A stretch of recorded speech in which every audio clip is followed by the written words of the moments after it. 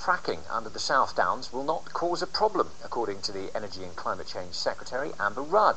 The MP for Hastings and Rye also said that uh, new ways to provide power need to be put in place in order to ensure our energy security. Well, the Energy, Energy Secretary's comments have been criticised by Green campaigners who say her views are alarming. Our environment correspondent has this exclusive report.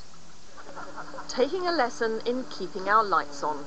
Energy Secretary Amber Rudd braved the heights of a low voltage pylon when she joined apprentices on a visit to the UK Power Networks regional training base.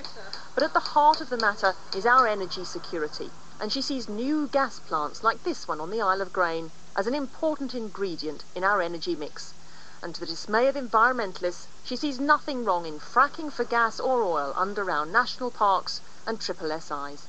We are absolutely committed and sticking to no fracking at the surface area of these areas. But if you go so far as you're under 1,200 metres underneath them, nobody will notice it's taking place.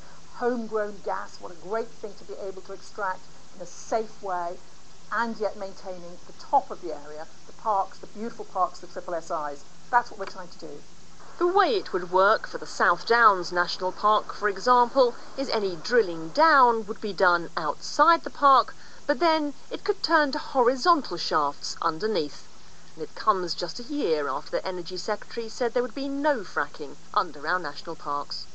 It's not just our concerns, it's concerns that we have alongside villagers who live in, uh, in the countryside that have been asking us for help. And they are concerned about things like um, the underground um, possibility of contamination of water, um, also air and noise pollution, and particularly traffic, heavy goods vehicles, more lorries in, in the countryside and going through quiet villages.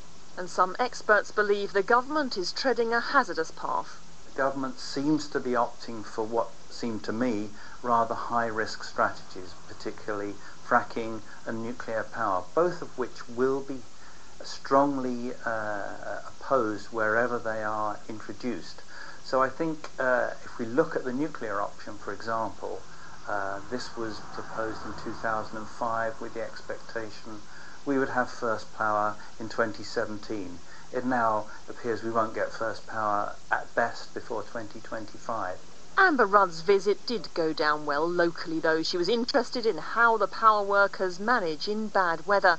But she herself may have a more stormy ride over our electricity supply in the coming years.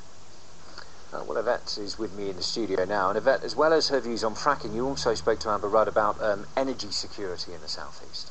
Well, yes, looking 10 years into the future, all of the country's coal plants will have closed down. Currently, they supply around 30% of our electricity, and already in the southeast, we've seen three major oil and coal plants close, Kingsnorth, Grain and Littlebrook. And the Energy Secretary said it's very important that we replace that reliable baseload. And she's looking towards gas, although she didn't say when or where those new gas-fired plants will be built, which is an interesting point because back in the 90s, you may remember the dash for gas. There were lots of gas plants built but then, and very little investment went into developing renewables. And so I asked her, I said, well, why cut the subsidy for solar now, which has been an issue in the southeast, lots of solar uh, plants going up.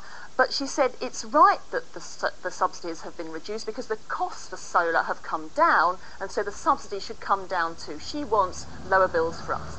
Okay, Yvette, thank you. Uh, well, the time now is just